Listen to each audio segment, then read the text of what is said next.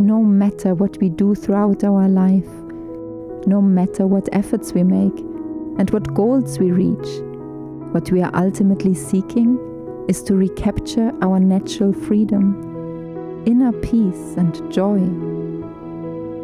Deep inside, there's a spiritual thirst to go beyond any cultural conditioning, social roles, and self created identities, and to finally meet one's true self.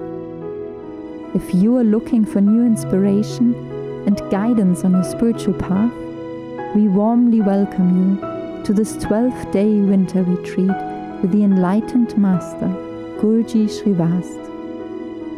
Gurji Srivast is a living master, mystic, and poet, full of authentic joy, love, grace, and a flow of natural wisdom, teaching celebration of life as a way to total liberation.